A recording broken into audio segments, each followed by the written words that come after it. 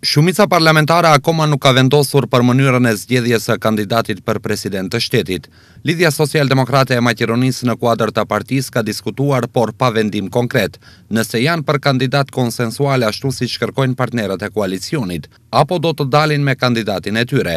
Jo zyrtarisht, çështja do të diskutohet në takim mes Zaevit dhe partnerëve të koalicionit Ahmeti, Thaçi e Gashi, nga fundi i janarit. Të pyetur nëse do të pranojnë kërkesën e opozitës për zgjedhje të parakohshme parlamentare, nënkryetarja e socialdemokratëve, Frosina Remenski, theksoi se vendi nuk ka nevojë për zgjedhje të cilat do t'i pengonin proceset reformuese. Mendoj se nuk kemi nevojë për zgjedhje të parakohshme, sepse duhet pasur parasysh hapat të cilët duhet t'i ndërmarrim deri në marrjen e datës për bisedime, me Bashkimin Evropian dhe gjitha kushtet për marrjen e datës për bisedime si reformat në shërbimet e sigurisë, administratën publike dhe reformat në gjyqësor si pako e ligjeve reformuese në Kuvend. Presim që të gjitha këto ligje të përfundojnë deri në marrjen e datës për bisedime me Bashkimin Evropian, theksoi Frosina Remenski, nënkryetare e LSDM-së. Ndërkohë VMRO-DPMNE-ja ka nisur fushatë mbi kërkesat e saj për zgjedhje të parakohshme parlamentare bashkë me ato presidenciale.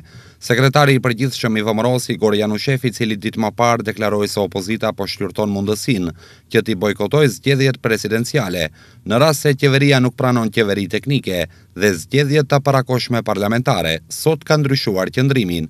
Ai u shpreh i prerë se VMRO do të merr pjesë në zgjedhje presidenciale, duke shtuar se para shpalljes së tyre, grupi parlamentar mund të inicojë edhe shpërbërjen e Kuvendit. Po, VMRO-DPMNE-ja do të merr pjesë në zgjedhjet presidenciale, por përsëri them se insistojmë në zgjedhje të parakohshme parlamentare bashkë me ato presidencialet. Lidhur me shpërbërjen e Kuvendit dhe veprimet e grupit tonë parlamentar, do t'ju njoftojmë në kohë, u shpreh Igor Janushev, sekretar i përgjithshëm i VMRO-DPMNE-së. Edhe blloku politik shqiptar është i ndarë rreth zgjedhjeve të parakohshme parlamentare dhe zgjedhjeve presidenciale. Bashkimi Demokratik për Integrim edhe në këto zgjedhje kërkon kandidat konsensual për president.